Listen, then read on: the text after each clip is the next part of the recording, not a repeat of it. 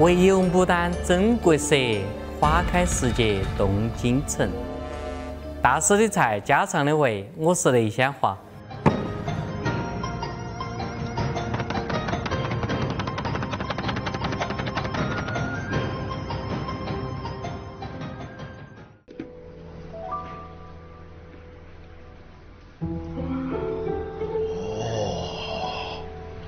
很多人了解这道菜呢，其实是一部电视剧开始的。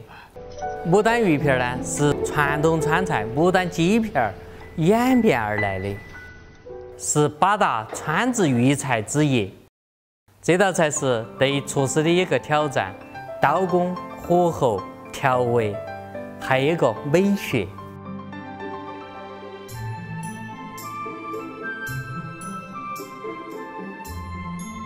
重盐码这个鱼片，抓至三至五分钟以后呢，慢慢的这个血水就出来了，鱼片就白净了。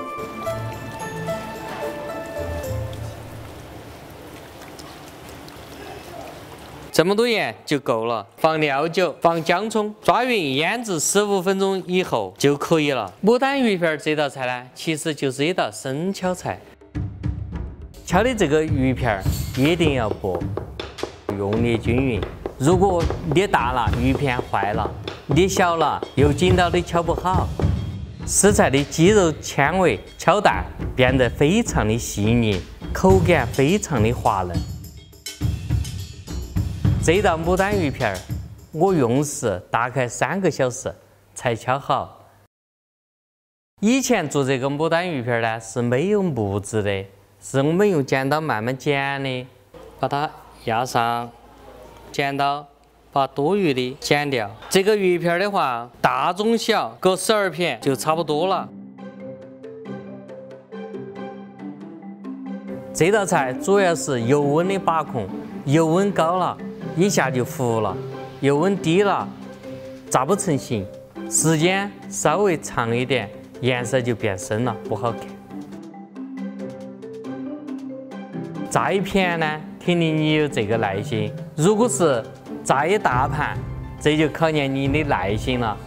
这个菜我们选用的是鱼香味型，是川菜多有的味型，咸、辣、酸、甜四味兼备，姜葱蒜香味浓郁。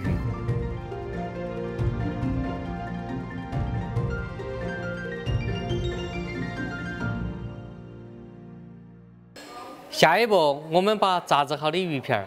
拼成牡丹花，我们先将土豆泥捏成底座，翻糖做的花蕊。